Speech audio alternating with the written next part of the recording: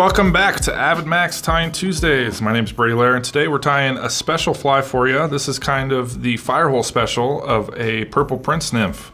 They have this great hook-based management system uh, that includes the tungsten bead provided by Firehole. This is one of the plated versions, the black nickel.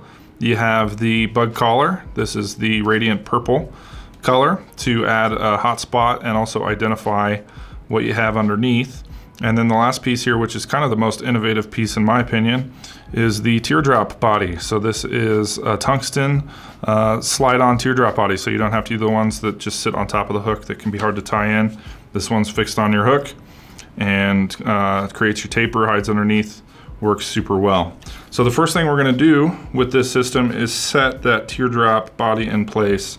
And for that, all I'm gonna do is drop in a little bit of UV use the thin so that it kind of slips on down in there. And we're just gonna fill that slot. And then I'm gonna go ahead and flip it over because I like the slot to be on the bottom. And we'll cure it right in place. From there we can start tying. I'm gonna start with my UTC thread. And this is the 70 denier purple color, which will finish nicely with that bug band. We just start our thread right behind that teardrop body with some locking wraps. And we can go right into tying our tail in. So we're gonna use the goose biots for this.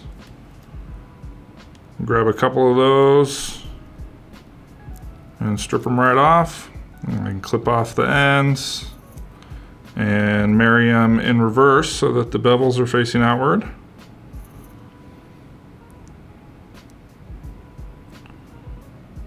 And make sure that those tips are aligned about the same length there.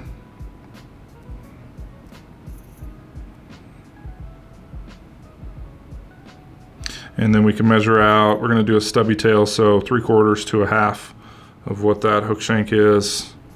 Transfer that to the back and go ahead and grab that on down. Do a couple of loose wraps to get them where you want them. And then you can pull down and tight and that'll set them in place. And you can work back. I always like to use my finger to split them as I go back and position them where I want them. And we'll work a little ways down this hook shank, giving some curvature to this pattern, elongating it to be a nice, large nymph. Really an attractor pattern, using this purple color. It's a great option for fast water, deep holes, anywhere where there's not a lot of light penetration. But you know there are big bugs down there and big fish eating them. This fly is gonna get you into that zone nice and quick. So we'll trim out that excess biot. I'm gonna use it to help transition up onto the teardrop body there. Try and capture it all down. Trim out that weird looking piece there. And we'll just build that taper. It's really crucial with these teardrop bodies that you build a nice, slow taper up onto it so that you're not sliding down back off. You need something at the end to keep you going forward. And our dubbing is going to help us with that as well. So we'll just work that out a little bit here and then go on back and let our dubbing do the rest of the work. So I'm going to create a noodle with some UV dub. This is a nice purple color of ice dub. And grab a little bit out and just start to work our noodle and build our body. Great summertime pattern on a lot of western rivers. Found that purple nymphs tend to work really well in the Colorado and the tributaries of the Colorado, specifically the Williams Fork. I've had good success there. Doing a size 12 today, you could tie this anywhere from 8 on down. And don't be afraid to tie it in smaller sizes as well. Doing just a nice big heavy one for us today. So we're gonna use that UV dub, continue our taper out. Nice and bulky for this one. Working forward is the name of the game.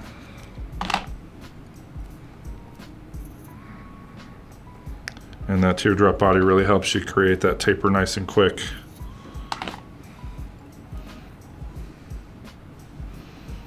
We're gonna go up, just leave ourselves a little bit of room behind the bug band there.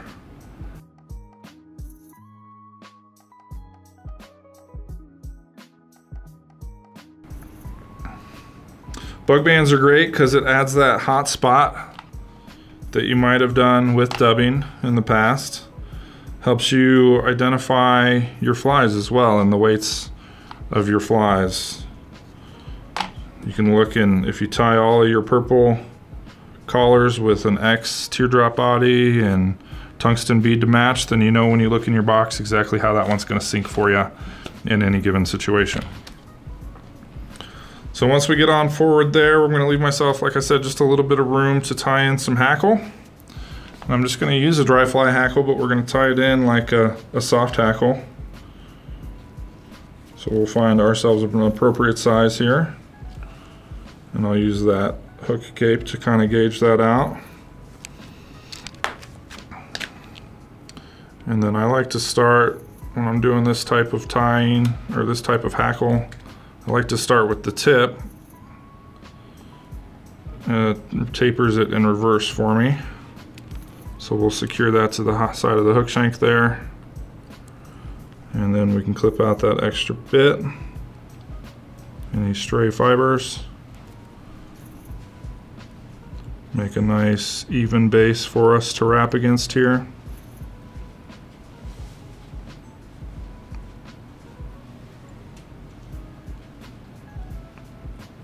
And then we can palmer that on forward. Do a half hitch to stay in place. And so I'm gonna pull this upward and I'm gonna do it like a soft hackle. We're gonna grab it and tease those fibers in reverse. And again, a little wax on your fingers can help mold and control what these barbules are all doing. We'll pull them all outward first and then we can reverse them and if you pinch them as you wrap them you can kind of get them to all lay back as you go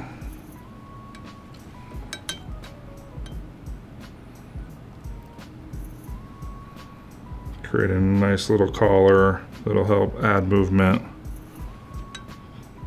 to this fly when it's fished. We'll go around three or four times here making sure that it's laying back for us. Just like so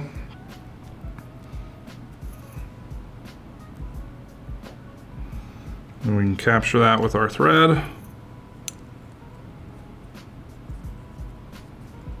and this purple UTC blends really nicely with that bug band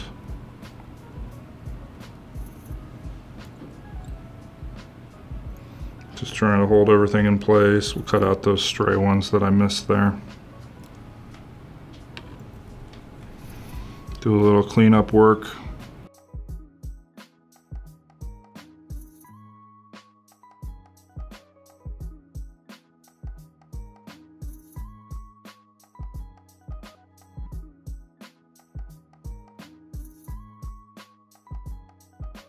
Before we tie in our final material here. Do a couple of wraps right back behind on top of it. Give ourselves room to tie in this last biot and also help those fibers lay backwards. So I'm going to pull another goose biot, just doing the white, the traditional wing on your Prince nymph here. Your wing buds. And clip them out and do the same thing we done on the tail in that regard, but we're going to tie these in individually this time. I just prefer to do so. Kind of measure out the length of that body, keep it cocked to one side, and capture it in place. And we'll do the same thing with our second one here in reverse. Get it to that same length. Hold it, we can do one loose wrap, kind of see where we're at, make sure they're the same. Pull it back a little bit if you need to. And then give some firm wraps to hold them in place and I like to do a couple on top. Pull those ends in reverse. Sneak a couple in front that'll get them to flare up and out of the way for you so you can clip them off nice and close before coming over top and finishing up with a whip finish. So I think they say there's over 600 combinations that you can do with these new bug bands and teardrop bodies in hole um, using the Firehole hooks. A lot of stuff to explore there, a lot of materials to utilize to get creative with. Some of your longtime favorite patterns you can take. If you use the lead wrap, maybe switch on over to tungsten. It's going to be denser, it's going to be heavier for the size that it is, and it's more environmentally friendly as well. So some really cool benefits out of these new Firehole products that I think a lot of people are going to utilize and find some some creative designs out of.